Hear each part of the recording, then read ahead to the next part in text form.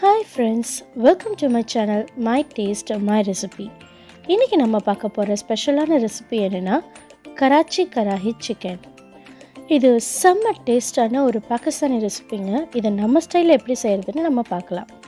இப்போ நான் இதற்கு ஒரு நைன் ஹண்ட்ரட் கிராம் சிக்கன் ஒரு முழு கோழியை நான் அப்படியே க்ளீன் பண்ணி கட் பண்ணி எடுத்து வச்சுருக்கேன். இப்போ சிக்கன் மேரினேஷனுக்காக ஒரு ஜாரில் ஒரு பெரிய வெங்காயத்தை ரஃபாக சாப் பண்ணி ஆட் பண்ணிக்கிறேன். அதோட பத்து பூண்டு பல்லும் ஒரு டேபிள் ஸ்பூன் சோம்பும் சேர்த்து நல்லா அரைச்சி தனியாக எடுத்து வச்சுக்கிறேன். இதை நம்ம சிக்கன் மேரினேஷனுக்காக பின்னாடி யூஸ் பண்ணுவோம். இப்போ ஒரு மிக்சிங் பவுலில் ஆல்ரெடி க்ளீன் பண்ணி எடுத்து வச்சுருக்க சிக்கனை நான் சேர்த்துக்கிறேன். இதில் ஒரு நூற்றம்பது எம்எல் மோர் சேர்த்துக்கிறேன். இது இல்லைன்னா நீங்கள் ஒரு ரெண்டு டேபிள் ஸ்பூன் தயிர் கூட சேர்த்துக்கலாம். இதோட நம்ம ஆல்ரெடி அரைச்சி வச்சிருந்த ஆனியன் கார்லிக் பேஸ்ட்டையும் சேர்த்துக்கலாம். இப்போ ஒரு டீஸ்பூன் மஞ்சத்தூள் ஒரு டேபிள் ஸ்பூன் மிளகாய்த்தூள். நான் எங்கள் வீட்டில் ரொம்ப காரம் கம்மியாக சாப்பிட்றதுனால ஒரு டேபிள் ஸ்பூன் மிளகாய்த்தூள் தான் சேர்த்துருக்கேன். நீங்கள் உங்களுக்கு காரத்துக்கு தகுந்த மாதிரி சேர்த்துக்கோங்க. ரெண்டு டேபிள் ஸ்பூன் மல்லித்தூள் ஒரு டீஸ்பூன் ஜீரகத்தூள்.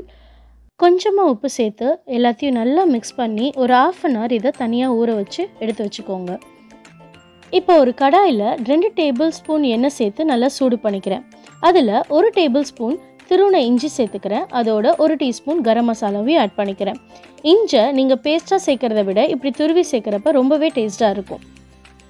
அண்டு இதோட ஒரு கொத்து கருவேப்பிலையும் நான் ஆட் பண்ணிக்கிறேன்.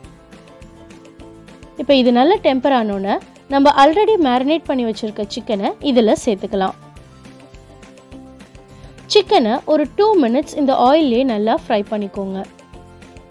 டூ மினிட்ஸ் கழித்து பார்த்தீங்கன்னா உங்களோட சிக்கன் கலர் கொஞ்சம் சேஞ்ச் ஆகிருக்கும் இந்த ஸ்டேஜில் நீங்கள் மூடி போட்டு ஒரு ஃபைவ் மினிட்ஸ் மீடியம் ஃப்ளேம்லேயே குக் பண்ணிக்கோங்க.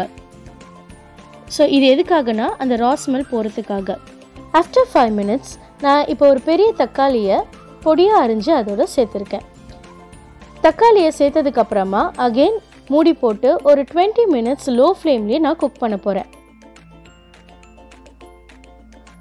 ஆஃப்டர் டுவெண்ட்டி மினிட்ஸ் பார்த்தீங்கன்னா உங்களோட சிக்கன் கராகி ரெடியாக இருக்கும் இந்த ஸ்டேஜில் நான் கருவேப்பிலை கொத்தமல்லி அப்புறம் இஞ்சை வந்து தின் ஸ்லைஸாக கட் பண்ணி சேர்த்துருக்கேன்.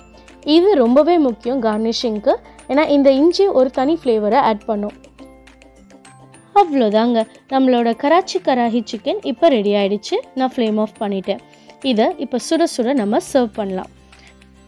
இந்த ரெசிபி கீ ரைஸ் ஒரு பிரியாணியோட சாப்பிட ரொம்பவே நல்லாயிருக்கும் அதை விட ரொட்டி சப்பாத்தியோட சாப்பிட சூப்பராக இருக்குங்க.